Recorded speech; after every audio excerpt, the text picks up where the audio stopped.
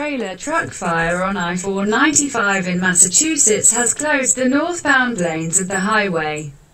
Massachusetts State Police used Twitter to alert drivers on I-495 near Andover that the truck was fully engulfed in flames after an apparent interaction of chemicals in its cargo.